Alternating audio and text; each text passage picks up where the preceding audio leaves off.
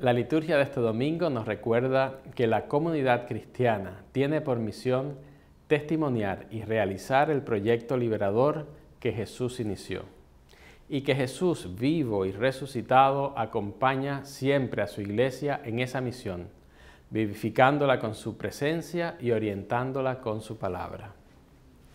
El Evangelio nos presenta a los discípulos en misión, pero avisa que la acción de los discípulos solo será coronada con éxito si saben reconocer al resucitado junto a ellos y se dejan guiar por su palabra.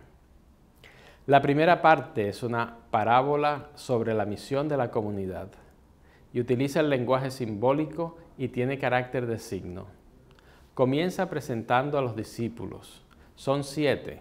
Representan a la totalidad, el número siete, que es la iglesia comprometida en la misión y abierta a todas las naciones y a todos los pueblos.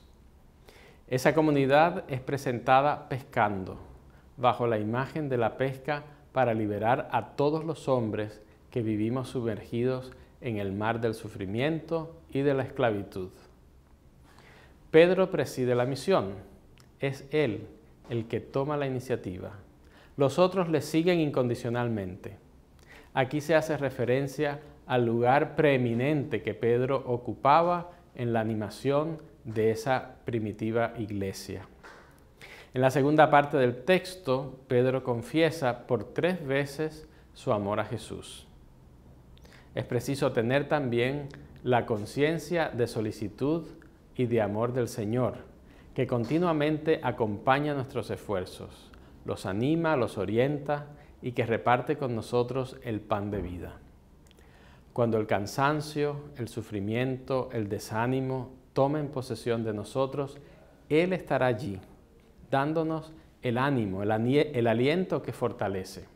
Es necesario tener conciencia de su constante presencia, presencia amorosa, vivificante, que está siempre a nuestro lado y celebrarla en la Eucaristía.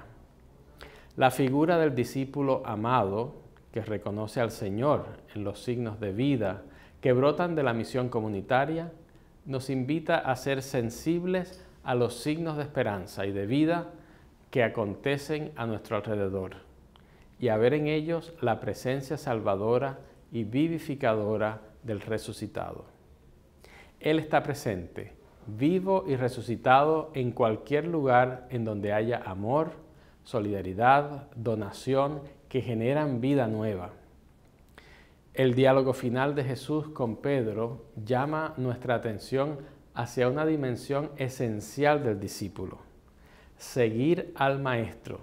Seguirlo es amar mucho y por lo tanto ser capaz de, como Él, andar el camino del amor total hasta la entrega incondicional de la vida.